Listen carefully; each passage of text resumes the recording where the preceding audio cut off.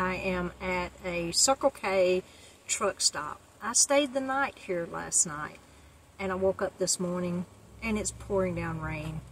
And I don't like to travel on rainy days, so I thought I would just sit here, catch up on watching some videos of some of my friends, and just hang out. It's a bit chilly. It's 61 degrees. I did have my propane Wave 3 heater going earlier this morning. I just turned it off, but it is still kind of chilly in here. But I thought I'd take this time to uh, tell you my testimony. As a child growing up, I was the middle child. I was always taller for my age and very insecure. I could not um, go into a room or a place by myself. Just very insecure. I could not look anybody in the eye and talk to them. I couldn't eat in front of anybody. I was just so insecure about my words and my actions and my movements. I was that way into my early adulthood. And then one day, walking down the road, I was in the military and I was getting ready for a PT test. And I'm walking down the road and I wasn't raised in church. And the only thing I knew about Jesus was that he was born at Christmas, and because of that, we gave gifts. So I wasn't taught to receive, I was only taught to give. But walking down the road one day, I looked up and I saw this beautiful tree, dogwood tree. And I felt this presence. And I said, Jesus, if that's you, then I want to know you. And that day my life changed. Now, it wasn't like an instant change because I knew nothing about the Bible or how to read the Bible or anything, but I rushed home and I grabbed the Bible out of the drawer that my mom had. And I opened it up and I thought you read it like a book. So I went to the first page and it said so and so begat so and so and so and so begat so and so and I was like, well, I can't get into this. I don't I don't know, but anyway, it was a process to learn and how to learn and and study the Bible for me. But what did change that day was peace. I received peace in my heart. Because up to that point, I've always loved cars, and I had fast cars and, and sports cars, and I had a Camaro, and it was it was really my baby. Loved it. But driving it down the road, sometimes a little voice would tell me, just go fast and hit that tree and get it over with. And then my next thought would be, well, no, it will mess up my car. So I think the Lord uses things in our lives to keep us from doing stupid stuff. But I'm thankful that I didn't do anything stupid. I was too scared to do anything stupid. But that day, I was set free. It wasn't an instant, total restoration. It took years of work, but I was grateful for the journey.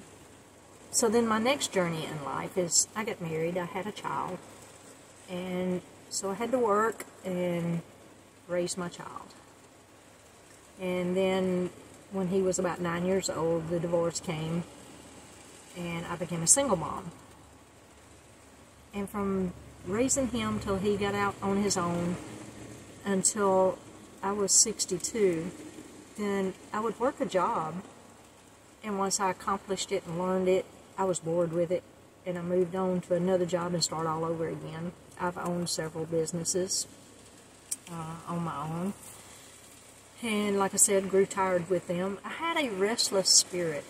I wanted to move constantly. I wanted to travel. I wanted to see things. But I could never figure out how to do that and make a living too. Because I was so far in debt that I had to work.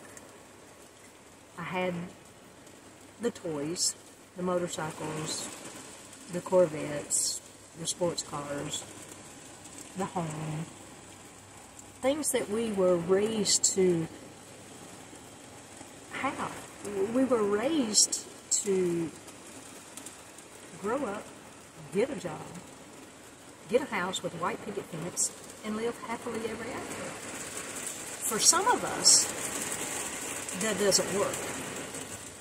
I have always said that I have a gypsy spirit. I guess I just got to move where others are completely comfortable having the house and the white picket fence. Some of us have different journeys. And one day, sitting in the recliner, watching YouTube channels, I came across a guy who moved into his van full time and began van life. And I thought, oh, that would, that's the, that's the answer. Because I would be continuously moving day in and day out. And that would satisfy my gypsy spirit of wanting to go all the time.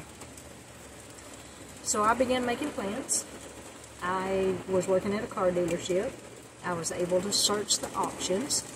Uh, the first vehicle I bought when it arrived on the uh, trailer, I was like, mm, no, that's too small. I can't do that.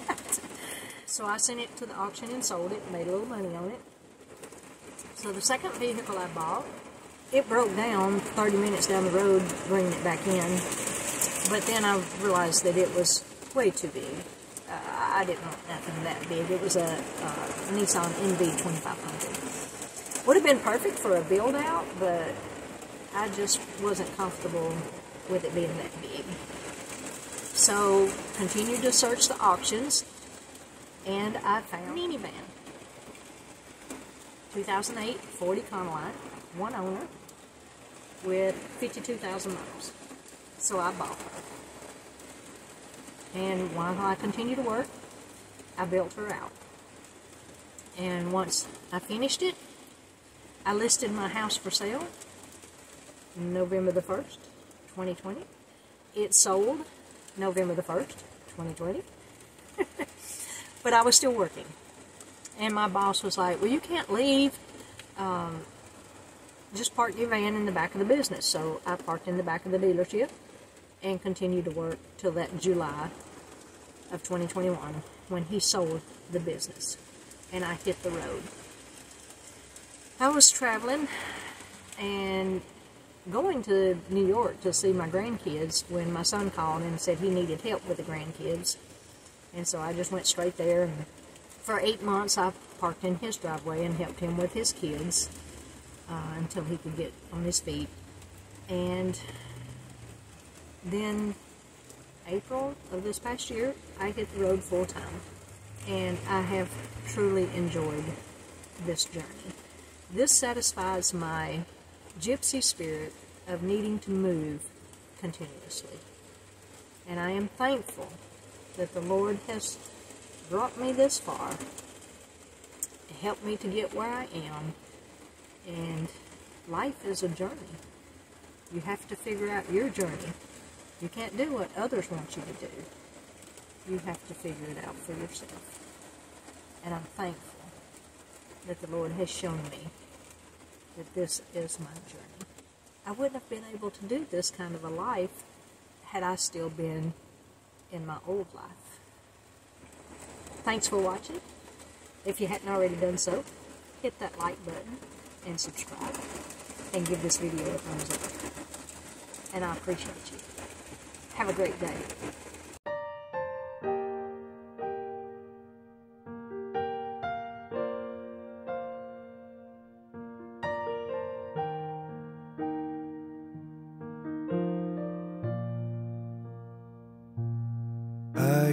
See you far and wide across the ocean above the clouds.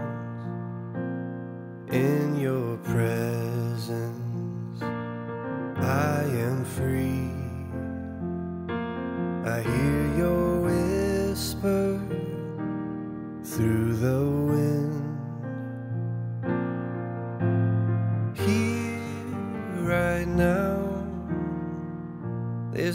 said I would rather be.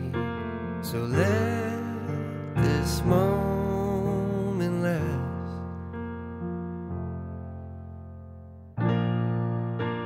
I've searched myself, I've tried to figure.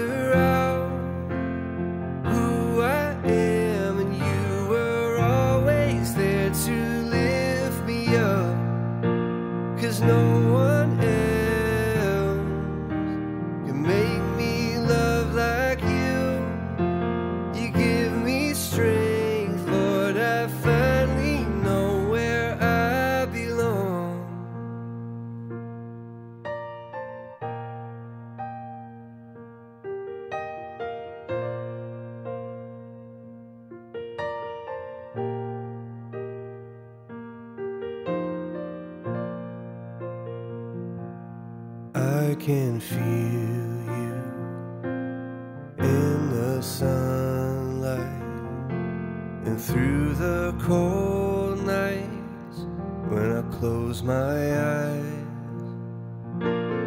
I am walking, oh Lord, beneath the starlight, a love so pure.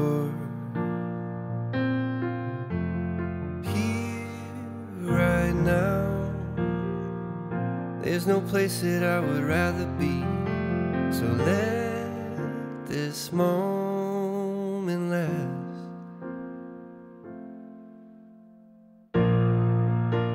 I've searched myself. I've tried to figure